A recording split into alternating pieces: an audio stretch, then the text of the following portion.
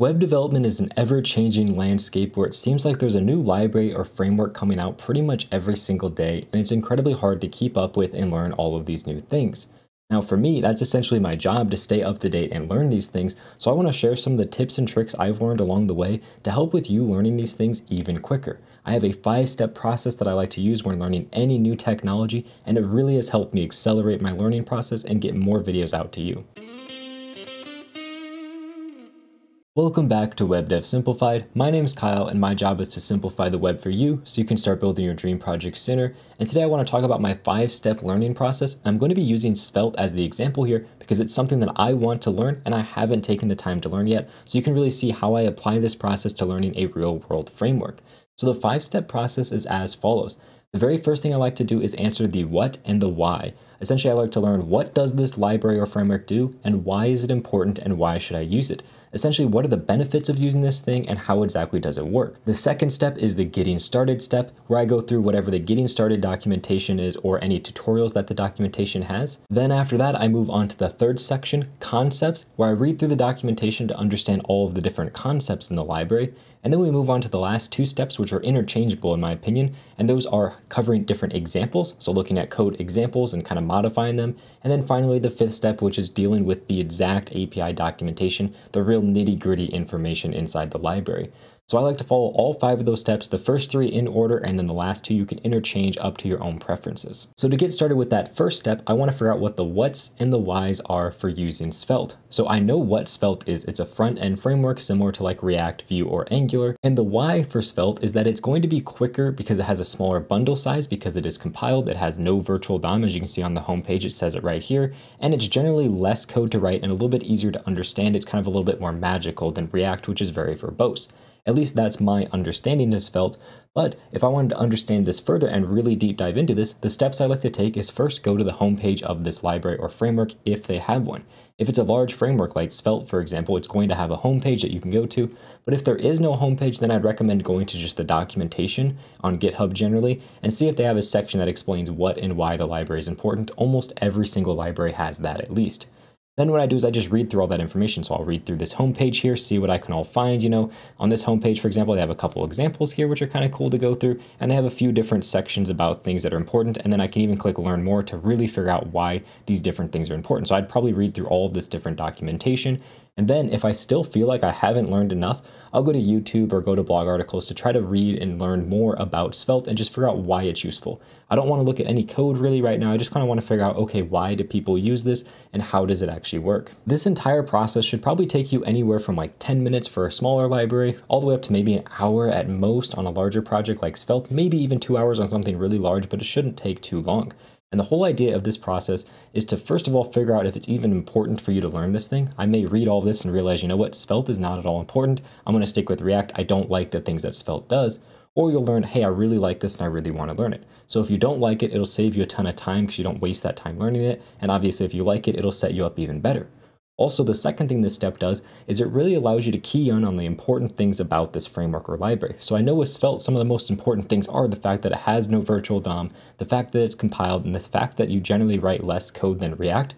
So when I'm going through the documentation, I can really pay attention to those important features. Now, if I was looking at something like TanStack router here, for example, I know that this is really good for routing, and also this is going to be based on TypeScript really heavily, so I know I really need to focus on the TypeScript benefits and the typing benefits of this router, as opposed to React router, which doesn't have all of those different things.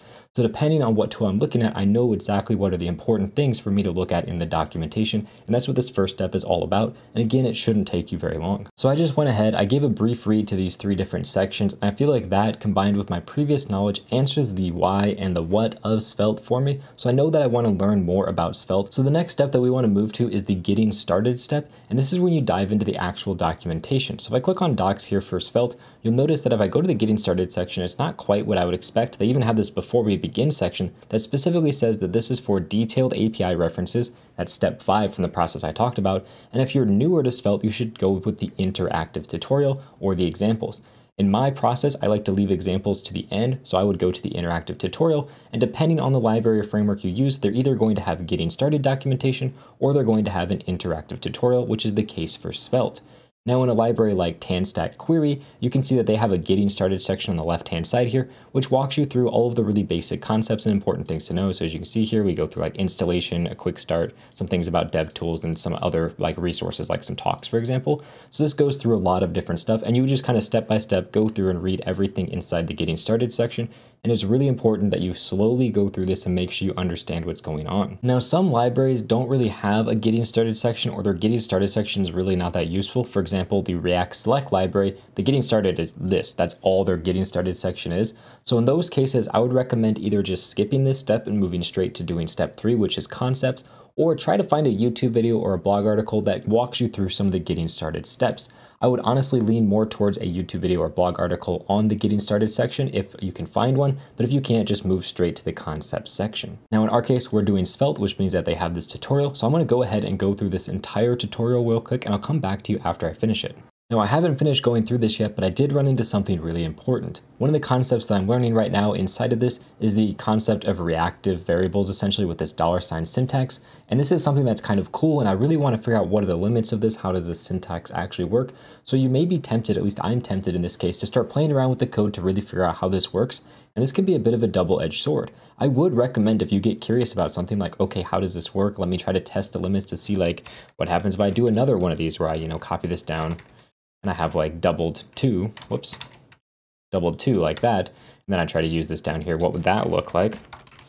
And I do that, you can now see, okay, and if I come up here and I make sure I set this to doubled, so I can see that they're reacting with each other, I can see, okay, it's still doubling the doubling, which is working as I expect. So I can start playing around with this. And this is a good thing to do. Again, I recommend doing this, playing around with it a little bit, but don't go too far. Don't dive too deep. Just kind of sate your curiosity, figure out how the limits of these things work, but don't try to deep dive into figuring out exactly how everything works inside the tutorial or the getting started, because that's not what it's meant for. It's meant for you getting up and running. The final step, step five, is where you can really start deep diving into these concepts. So I'd recommend play around with it a little bit, but then write down all the things that you're curious about on the side as you're learning, and then you can come back and look at the detailed API reference for that section to really figure out exactly what's going on.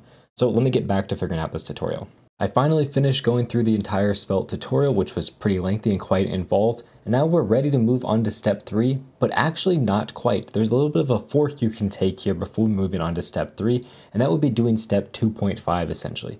And step 2.5 is just going on YouTube or a blog article and finding a crash course for this topic. I actually like to do this a lot of times, especially if the getting started documentation is pretty lackluster, or if I feel like I just don't know enough after doing it. For example, this getting started documentation is very small compared to Svelte's massive tutorial of topics that you can cover. So I would go onto YouTube, find a crash course there or find a blog article with a crash course and just watch that to really learn more about the different concepts. And a lot of times these crash courses will really help you with connecting the dots that the getting started maybe left you questioning on. And the real benefit to these crash course style videos or blog articles is that they really help you connect all the different dots and the people teaching these crash courses a lot of times will tell you things like, hey, watch out for this or hey, make sure you do this things that the documentation in the getting started section just won't tell you. So once you've done that, the next step is to move on to the concept section. And this is really hit or miss on the actual library that you're learning. For example, Svelte, they don't have a concept section, but essentially this tutorial is a massive section that kind of teaches you all the concepts you need to know. So they kind of bundled them into one. If I go over to TanStack Query, you can see that this has a guides and concepts section. It may also be called guides, for example, and you can see it kind of explains the high level of all these different concepts. This is a pretty large one, but you don't have to read all of them, just read the most important ones. And then, you know, we have the API documentation at the very bottom here along with examples. React Select is a little bit different. As you can see, they have some sections at the very top here, but there's really no specific section on concepts. That's kind of what this one page right here is doing. So it's a little bit hit and miss on the documentation you go for, but the idea is to try to find the higher level concepts without diving into the nitty gritty details of the exact implementation of the API. Again, if you can't find anything here, the best course of action is just to go on YouTube or blog articles and just search for more and more videos on that topic to try to figure out, okay, what are the high level concepts of this and to kind of explain it to me. A lot of times the crash courses will kind of do this for you as well. So you can kind of get two birds with one stone by watching those. Now, once you've actually read through all of the different concepts, for example, if you come in here and you read through some of the important concepts they have in this section, then what you can do is you can move on to step four or step five. Again, these are interchangeable in my opinion. Now, if you're feeling like you're not really sure how everything ties together and how everything works, the best case to go is to go into the examples. So inside Svelte, you can see that there's an examples section here, and I can really look through, okay, how does declaring props work, or you know, how does certain binding of events work. You can go through these examples. This is a very involved list. They have lots of different examples, but most libraries are going to have a few examples. For example, here you can see there's a list of examples. It's not a massive list, but there's quite a few examples, and they start with something that's really simple all the way to some much more complex stuff that you can look into. So you can really deep dive into these examples if you want to see examples of how things work and just overall how the entire library works together. That's what the examples are really good at.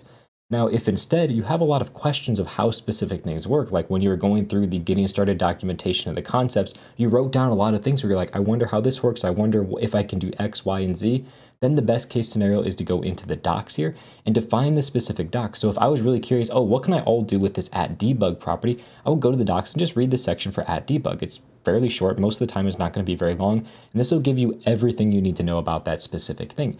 So if there's any questions that came up as you were going through, go to the documentation and try to answer them. But please don't read the entire documentation. I mean, look at the massive amount of text this is. I generally read through all of this when I'm trying to teach a topic, but if you're not teaching something, you don't need to know all of this information.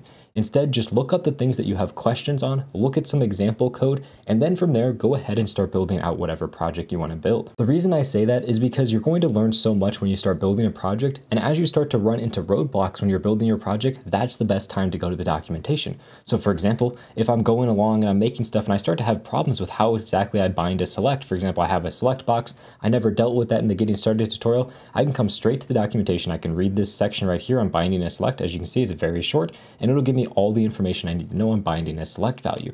So when you're starting to work on a project and you're starting to get stuck on things, or you're like, I wonder if there's an easier way to do this, that's the best time to look into the more nitty gritty of the documentation. Now, if you are the type of person that just likes to read the documentation and really know what's going on, I still wouldn't recommend doing it right away. Instead, I would still recommend working on a project and after you've at least experienced and worked with the tool a little bit, then go back and read the documentation. That's actually how I go about doing things. I still like to work on building out projects, really small projects. They don't have to be huge, just kind of using the library, using the tool, figuring out how it works, and then that's when I'll start going through and reading the documentation in order to make a video on the topic. The reason I recommend doing it this way is it's just information overload if you just read the documentation before you actually start implementing the tool because I'm going to be reading this and most of the things I run into are something that I've never seen before because I've never actually tried implementing the tool. So if you just start with the documentation, it's going to make it much harder to understand and remember everything. While if you've used the tool at least a little bit and then you come to the documentation, you'll at least be able to be like, oh, okay, I've done that or oh, this is related to something I've done. So it's a much easier to connect and remember. Another thing to take into consideration, especially if you're dealing with a large project like Svelte, for example, is don't try to learn everything all at once or in one day or even in one week take breaks and take time to learn a little bit at a time. Maybe you spend two hours doing some research on one day and then you take a break, do two hours on another day or one hour on another day. Just break it up into smaller chunks. It's going to make it easier to remember. Your brain won't feel so fried. And overall, it's just going to be a better learning experience for you. The final thing that you can do that actually really helps is to take notes. If you're really wanting to deep dive and learn something, taking notes on the topic is really important. And as you can see, that's what I do for all of my complex crash course videos. And I actually have this broken out very similar to how I recommend learning. For example, the first thing I like to start with is what are the goals of this thing, the what and why, step number one here. Number two, I look at the setup and basic usage. This is essentially the getting started guide of how to do these different things. And then I like to go through and look at the high level concepts. Step number three, you can see here I have use query, use mutation. These are like the two big high level concepts of this TanStack query React query library. Inside of these high level concepts, I like to include a lot of examples as well as a lot of the nitty gritty kind of details. So as you can see here, if I look inside this important properties, this is kind of like nitty gritty details on certain things. You can see I have some code examples inside here and I just have a whole section just purely for examples. So this kind of mixes in steps four and five where I take the most important concepts from the documentation and from the examples and throw them directly into my notes underneath each one of these different concepts. So if you really want to make sure you master something, taking notes on it is one of the best ways you can do that because it's something you can always come back to and look at and it also really forces you to learn the topics to be able to take notes on them. And that's all there is to learning a new technology as quickly as possible. If you want to check out some of the crash courses I have, I have tons of them available. I'm going to link them right over here for you. It can kind of give you an example of how I actually go through learning things, as well as help you out with step 2.5 of the process. And with that said, thank you very much for watching and have a good day.